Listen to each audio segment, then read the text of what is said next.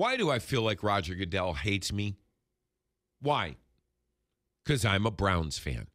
I would have so liked to have been there yesterday at the owners' meeting to just go, Mr. Commissioner, are you punishing the player or are you punishing the team and its fan base? I don't know what you think's going to happen, but listen to this. Well, as you know, it's part of the CBA. Uh, the, the two parties had that right.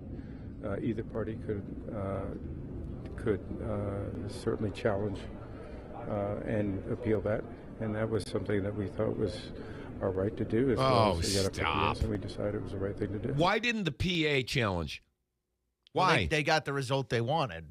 So But but it they screwed up because now I'm told that he has to serve the six no matter what. No matter what happens, that guy's out six games this year because they didn't appeal it. well, Riz, no matter what happens, he's going to be out for the whole season. I who knows? Here's the other Rog bite. He was at the owners' meetings. Where at? In Minneapolis.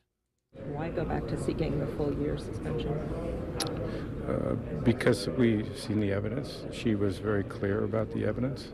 Uh, she reinforced the evidence uh, that there was uh, multiple violations here, and they were egregious, and it was predatory behavior. That's those are things that we felt, um, we always felt were really important for us to address in a way that's responsible. and and she did, and she gave him six games. I I I, I, I don't I don't know.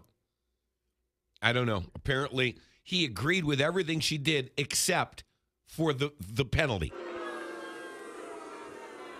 When is this going down?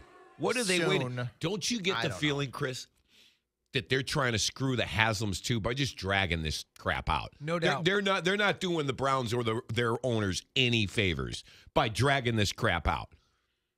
There is there is now we're fighting everything. The league, court system, commissioner, other NFL owners. I mean, God forbid the Browns should be good.